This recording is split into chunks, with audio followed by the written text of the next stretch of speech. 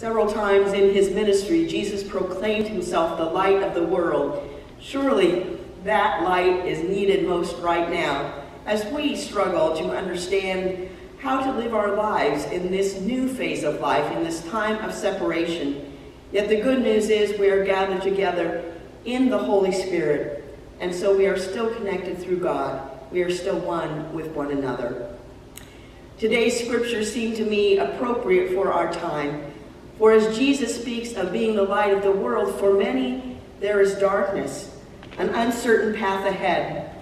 Lent is described as a time of preparation to move closer in our relationship to God. Yet Lent is also equated with the wilderness journeys of the people of Israel when they wandered for 40 years as their trust in God grew, as they came to know themselves as God's people. So we wander in our own Lenten wilderness right now, but as we wander, we move through the light of Christ. Samuel was in a time of doubt in his life. Excuse me. He did not know where God was leading him. Samuel had fought the people of Israel for years, telling them they needed no king, for God was their king. And yet when God finally conceded and allowed people to choose the king, they chose Saul, a tall, handsome, strong man who looked to them to be a perfect ruler. And yet, in short order, Saul was disobedient to God. He engaged in idolatry. He consulted witches. He did what was not pleasing to God, and God rejected him. So Samuel was given the task then of anointing a new king. And Samuel did not understand what God had planned for the future. He did not know where he should turn next. But trusted in God, went to Bethlehem to meet with Jesse and his sons there to be told that he should stop looking to these tall, handsome, strong brothers of David as the next king, for they might prove to be just as Saul had been, inappropriate. Instead, Samuel was to look for the one whose heart was turned to God, the one who was obedient to God. And as Samuel went through all of the seven older sons of Jesse and was told none of them were the person that God had chosen to be the next king. Samuel asked Jesse to call his youngest son David, someone to be viewed as inappropriate. David was just a shepherd boy, only a child. And yet God often moves in mysterious ways, choosing those we might deem inappropriate. Yet God has a way of choosing those who are the right people for the job.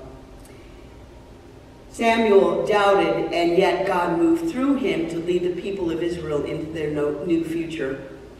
In the same way, as Samuel learned to see, the man who was blind learned to see.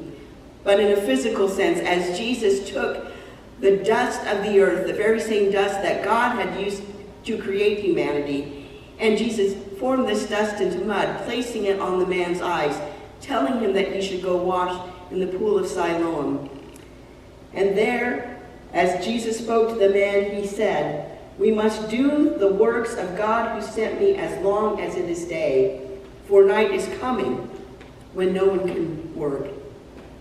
Jesus understood his purpose was to bring light into the darkness. And the man, after washing his eyes, saw that this was true indeed. His darkness had turned to light because of Jesus. As he rejoiced and shared the good news with his neighbors, they could not believe what they saw. They said repeatedly, We do not know who you are, even though he told them, I'm your neighbor, I'm the man who was born blind, and yet now I see.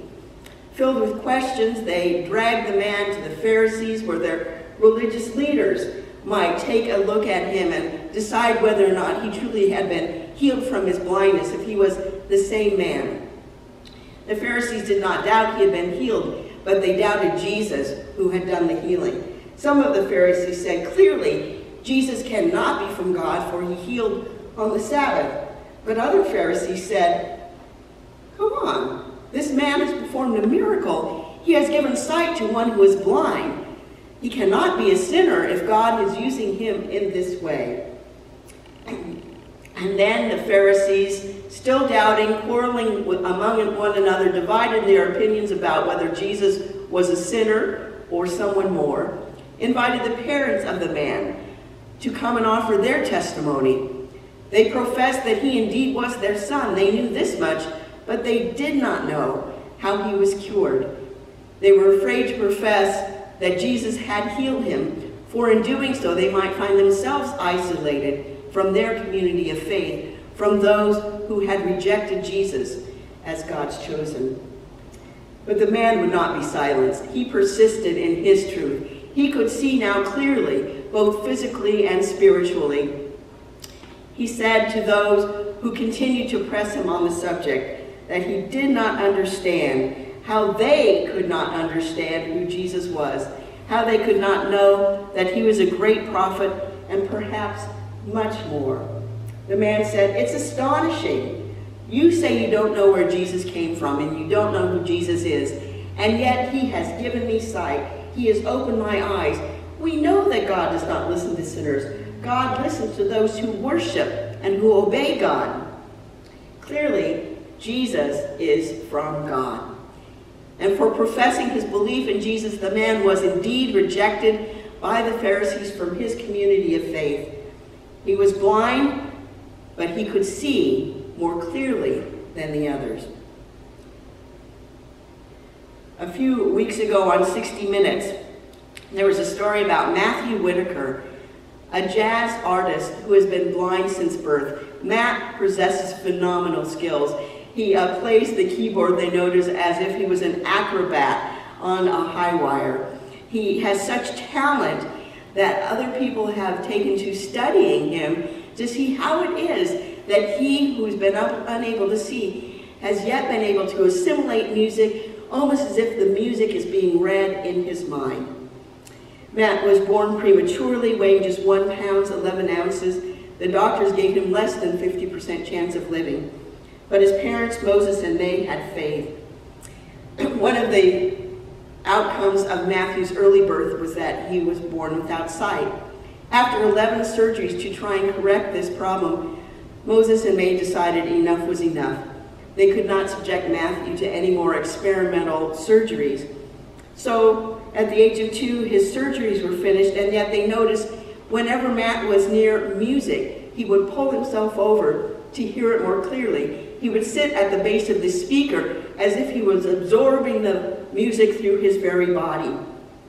His grandfather soon bought him a little keyboard, and Matt sat down and began to play with it, picking out the notes. And before long, he was playing Twinkle, Twinkle, Little Star, but not just picking out the melody with his right hand, he was also adding chords with his left. It was such an astonishing thing that his family didn't know what to think about it other than that Matt had clearly been given a gift from God. So they set about finding someone who would teach him, someone who would instruct him, and yet it was as if Matt needed little instruction. The music was just part of who he was. At the age of 11, he began to play around the world with professional jazz groups, uh, astonishing audiences with all that he could do with the keyboard, with his instantaneous improvisation, his complex harmonies, his twisting melodies, Matt was just a phenomenon.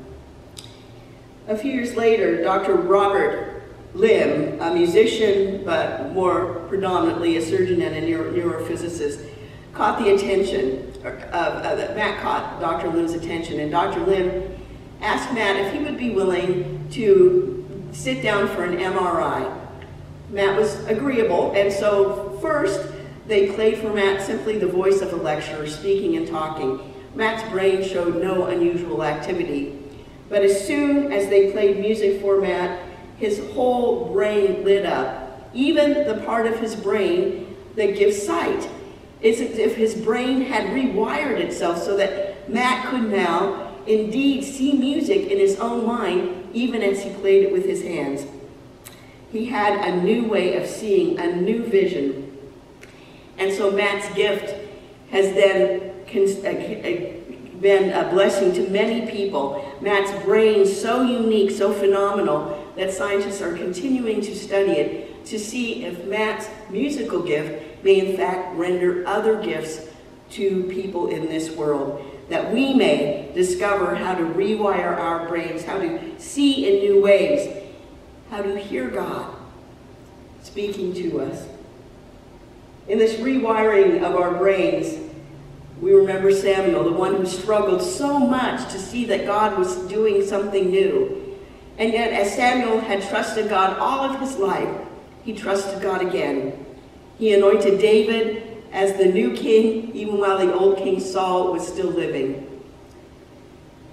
He trusted that God was doing new things, that Samuel could, forget former things, did not need to dwell on the past, but could move into the future and trust and in faith as God, in God who holds all things in God's care. And as the neighbors of the man who was blind heard his story, they too began to believe. They could see in a new way, not merely with their eyes, but with their hearts. They could see that through Jesus was God was doing wonders and new things in the world. God indeed was bringing light to shine in the world. For Jesus said, We must work the works of God who sent me while it is day. Night is coming when no one can work. As long as I am in the world, I am the light of the world. Through his resurrection, Jesus still is the light of the world, still in the world. These are times of great wonder, times where so much is unknown. I know some things, but I do not know everything I wish I knew. I imagine that's true for all of us. As Socrates noted, I know that I know nothing. I don't understand fully what is happening in our world other than the epidemic of COVID-19 is spreading rapidly across all of the countries of the world. I do not know what the future holds. There is so much I do not understand. And that causes anxiety for me and perhaps for you as well. Fear of the unknown is a fairly dominant experience for all of us in our lives. And anxiety is not a happy place in which to live. But there's also something else I know, something that you know as well, something that lives in our hearts as we meet Jesus Christ, the light of the world. We may not know exactly what the future holds, but we do know that God holds the future. We know that God has invited us to live as children of light, leaving behind the darkness, choosing what is good and right and true, following Jesus Christ, the one who leads us to God, the one who lights the way, the one who teaches us to look with eyes of faith, to see in a new way, for God gives us new visions. And God gives us Jesus Christ, the light of the world, the one who gives light and life. Thanks be to God.